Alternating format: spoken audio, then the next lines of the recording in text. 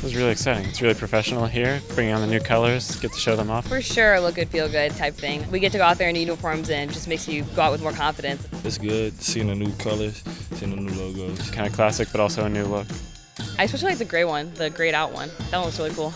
I think it's different. I don't think you see something like that in uniforms in college or really in high school at all. So I think it kind of sets the bar kind of high. It definitely feels good to be in the top tier. All of the same, you all look great together. And some good swag. So and to represent Pitt to the best of my ability. I know this is only the beginning. Everything is just new and it's getting a refreshed look and um, welcome to the new era.